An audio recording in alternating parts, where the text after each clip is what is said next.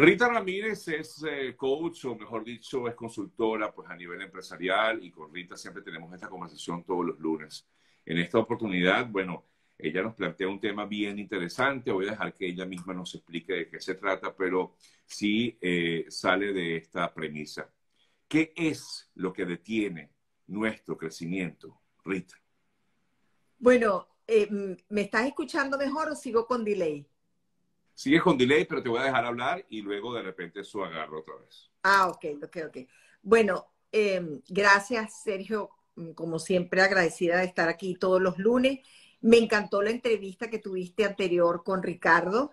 Eh, de verdad que eh, voy a tomar cosas que él dijo de ahí que nos sirven para, para lo que vamos a hablar hoy. Generalmente, em, nosotros los seres humanos decimos, wow, estoy haciendo, haciendo y haciendo y no llego donde estoy. Entonces vamos a hablar de varias cosas que tienes que reorientar o redirigir para entender por qué no estás creciendo como tú quieres. Lo, primero, y lo hemos eh, comentado antes, es aclarar tu identidad. ¿Y qué significa eso? Bueno, ¿cuál es tu propósito? ¿Qué quieres lograr? ¿Dónde quieres estar? El, el big why, el gran por qué. ¿Por qué yo hago lo que hago, qué es lo que quiero lograr. Y yo quiero aclarar hoy, eh, más que nunca, el dinero es la consecuencia de lo que tú haces, no es el objetivo. Okay.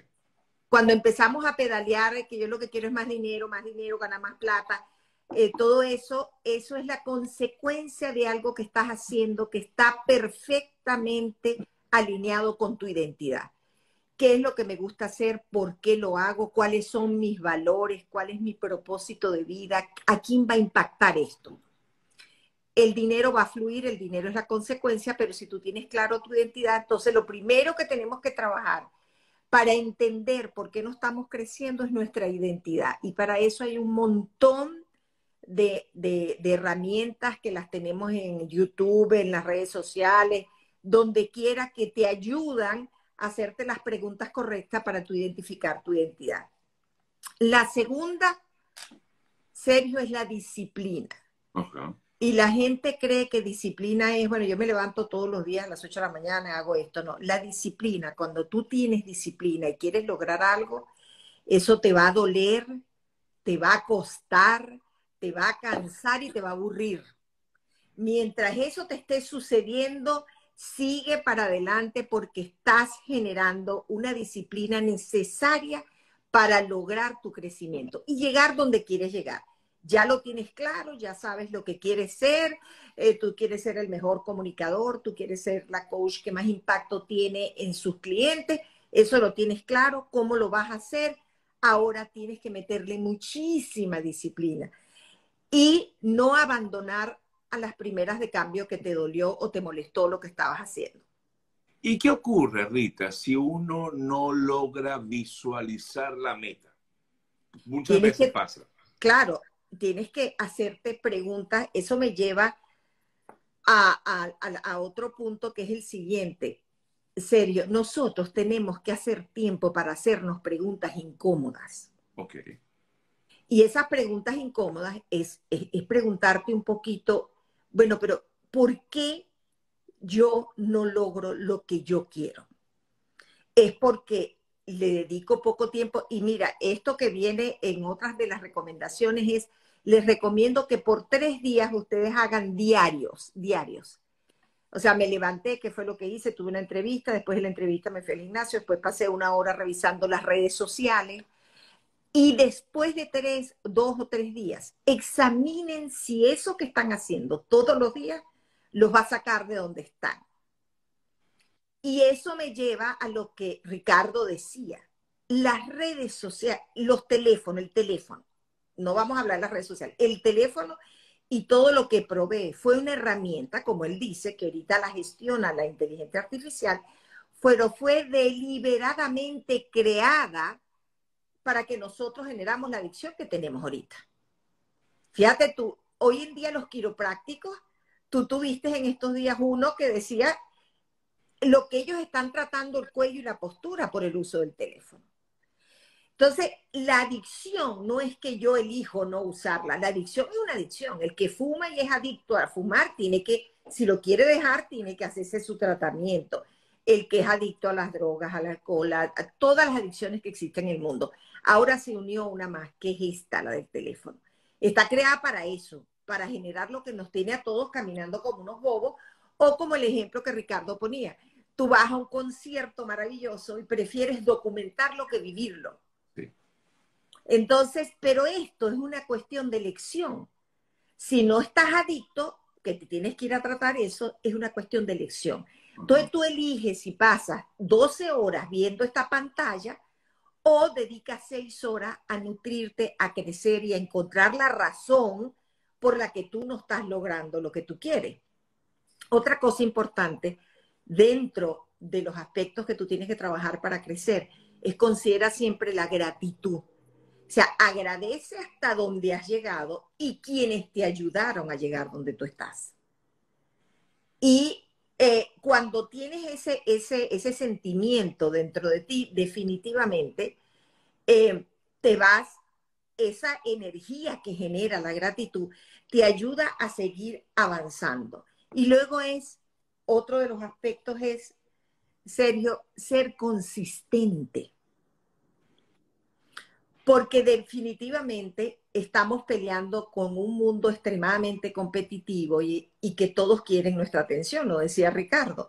Entonces tenemos que ser constantes. Hoy en día yo no puedo aparecer aquí, tú sabes, oye, bailando, entonces Rita al siguiente día eh, eh, resulta que es especialista en negocio y al tercer día habla de tratamientos de la piel y al cuarto día no, imagínate, estamos peleando por segundos de atención y si nosotros no somos consistentes en lo que queremos ofrecer, en lo que nos queremos convertir y en lo que queremos comunicar, te podrás imaginar la fidelidad o el compromiso que podrán tener nuestros clientes o, o la gente que nos va a ver como persona, nuestros amigos. Tú y yo en estos días hablábamos de una persona que no vamos a nombrar, y tú decías, wow, pero, pero ¿qué le pasó a esta persona? Lo que yo estoy viendo aquí no es lo que yo pensé que era esa persona. Sí, sí, sí, sí, me acordé.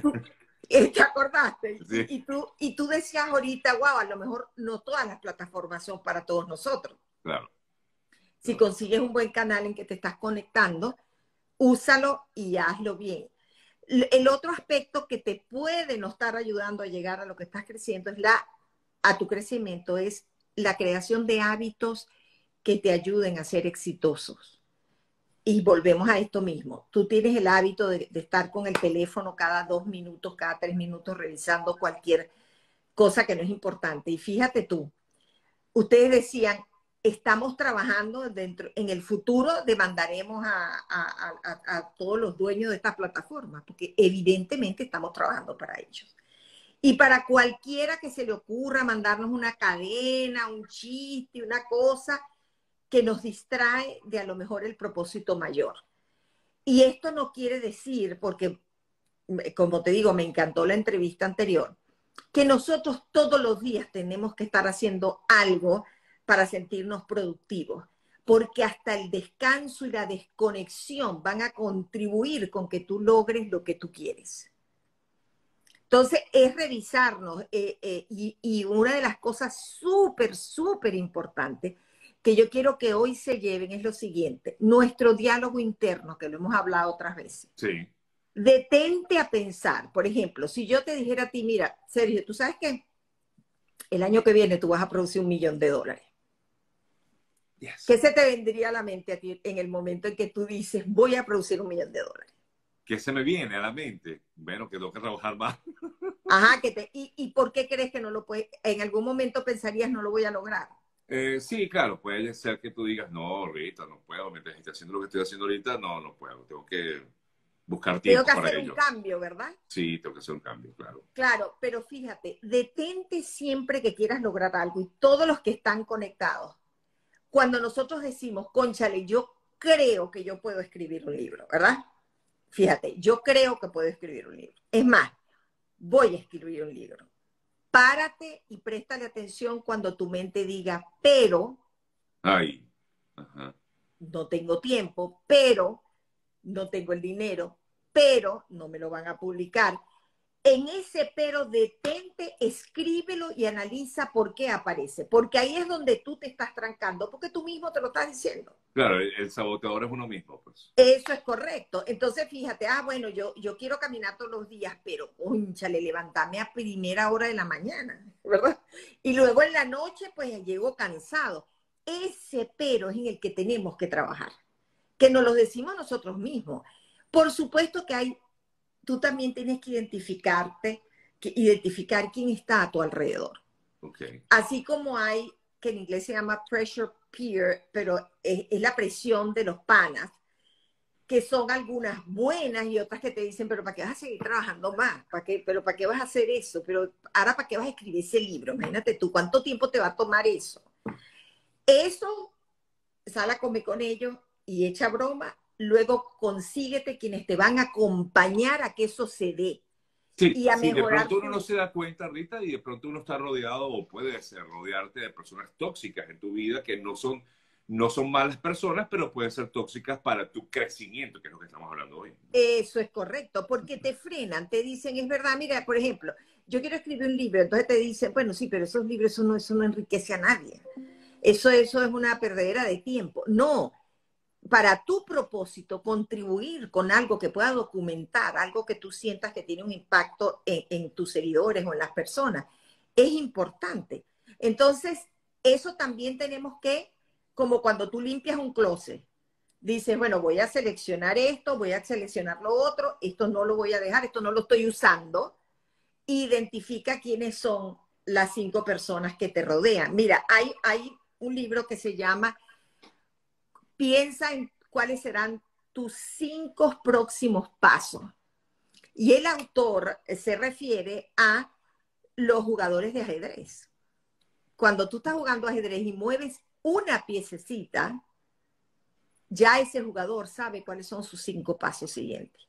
Entonces yo creo que el crecimiento está asociado a que nos detengamos un poco a pensar qué estamos haciendo, dónde queremos llevar y cambiar algunas conductas como identificar mi identidad, disciplina, gratitud, consistencia, hábitos, el diario, llévalo para que te detengas. ¿Qué te está desviando? Claro, sí. Si yo quiero escribir un libro, voy a volver a ese ejemplo.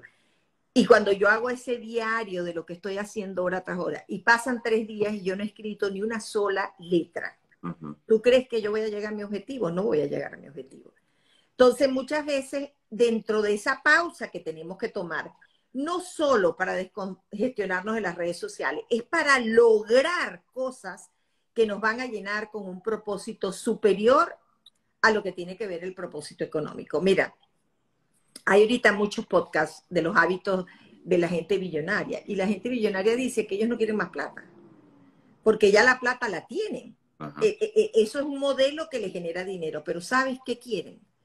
Quieren impacto, quieren paz, quieren valoración, quieren familia, quieren una cantidad de cosas por las que a lo mejor la gente dice no estoy luchando hoy. Pero si tú sabes que en esta conversación que tú y yo estamos teniendo va a haber, tenemos impacto en 10 personas, eso es gratificante.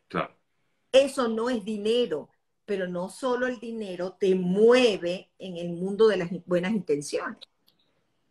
Entonces, cuando no estemos creciendo en algo, no echemos la culpa a la economía, a, las redes sociales. Concha, he contratado tres personas que eran especialistas en ads y no he pegado una. Este, al, al frío, al calor, a mi vecina, a la competencia.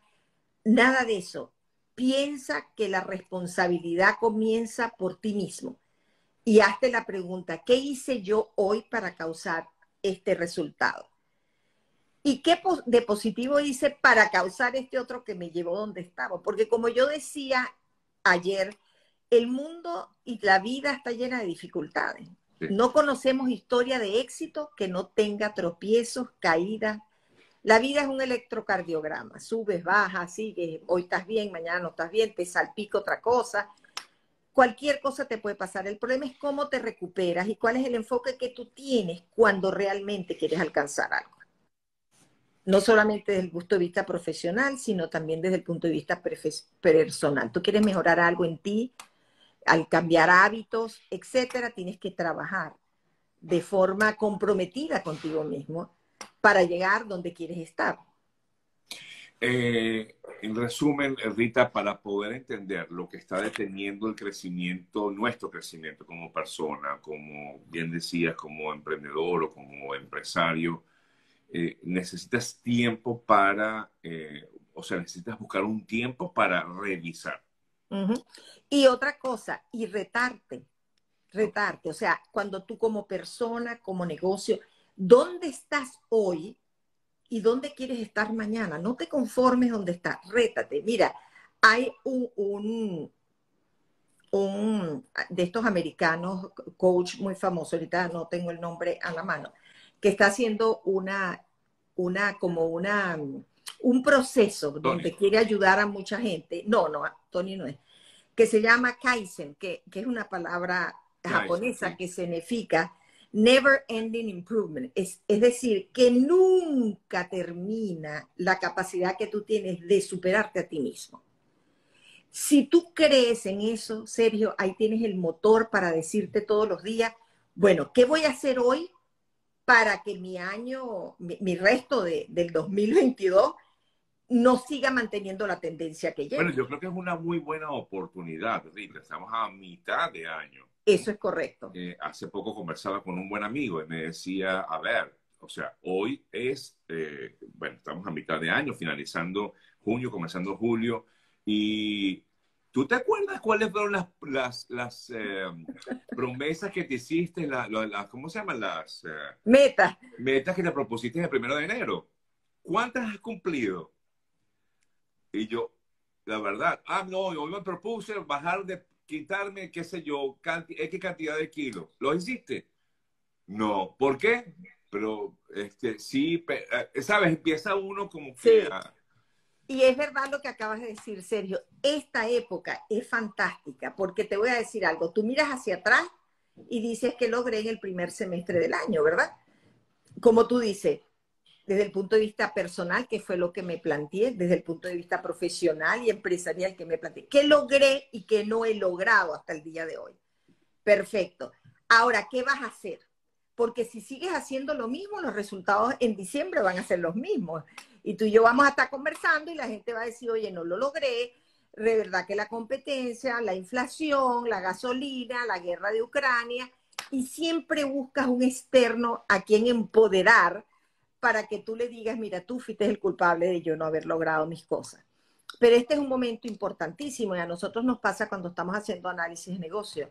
Este, este mes uno revisa inclusive la tendencia del presupuesto, si tienes que hacer ajustes, etcétera, etcétera. Y en materia de tu vida personal, tú tienes que decir, mira, me propuse hacer esto y ya pasaron siete meses y no me he acercado, pero nada a lo que me propuse. Entonces, eh, pero eso es una revisión sincera, responsable, que tú te haces contigo mismo. Esas son las preguntas incómodas que tú te tienes que hacer. Y en esas preguntas incómodas tú te, tú te dices, wow, yo no le puse corazón a esto, yo no le puse disciplina, no le puse constancia, no le puse el foco que yo quería para que esto se diera. Y como tú dices, los distractores se han exponenciado y si nosotros no controlamos eso, mira, la mayoría de las de la gente que conozco, comparto y clientes que están sufriendo de ansiedad, ¿qué están haciendo sus terapistas? ¿Cuál es la recomendación que le están haciendo? Detente, pausa, desconéctate. Detente, pausa, desconéctate. Algo que parece súper sencillo, ¿verdad? Te voy a seguir, te a seguir tu, tu, tu consejo me voy a detener, voy a pausar, me voy a agarrar una, una canción de dos meses. sin teléfono, sin teléfono. Imagínate, eso sí es heavy. Eso es heavy. Mira la cara que tú pusiste cuando las vacaciones de dos meses te las, te las internalizaste, pero cuando dijimos sin teléfono, dijiste, eso es heavy. Eso es, eso es un reto, ese es el verdadero reto de todos hoy, porque esto es maravilloso si tú eres selectivo en la información que quieres ver, pero es tremendamente adictivo y es un distractor súper importante si tú no, no lo gestionas bien, definitivamente. Son herramientas, mira, es, es, lo que yo te digo, es una cuestión de elegir. Tú eliges ver un programa que te lleve al próximo nivel o escuchar un podcast que te lleve al próximo nivel o decides pasar todo el día viendo a la gente bailando, usando ropa y viviendo tras la vida de los demás. Y lo peor, comparándote. Compárate con ti mismo y supérate a ti mismo, definitivamente. Ah, me gustó eso, me gustó ese cierre. Gracias, mi Rita. Gracias a ti, Sergio. Como siempre, por tus comentarios y porque sé que nos van a nutrir a todos quienes hemos escuchado. Por aquí nos dicen que te dejemos grabados y dejamos grabar entrevista completa y siempre, bueno, buscamos algún eh, pequeño clip y lo dejamos por allí para que lo vayan a buscar cuando puedan. Eh, recuerden que nuestro programa está en YouTube y también pues queda en Facebook y por supuesto aquí en Instagram. Y si quieren hablar con Rita directamente, bueno, pueden contactarla a través de la cuenta arroba escudo consulting, aunque ahorita están full. Estamos full, de verdad que sí, gracias a Dios, gracias a Dios, de verdad. Dios, sí. Bueno, gracias, mi Rita, feliz día. Gracias, Sergio, un abrazote. Y gracias por permitirme feliz semana, por supuesto, ya que estamos. Igual para ti y para todos los que nos Nos vemos. Gracias.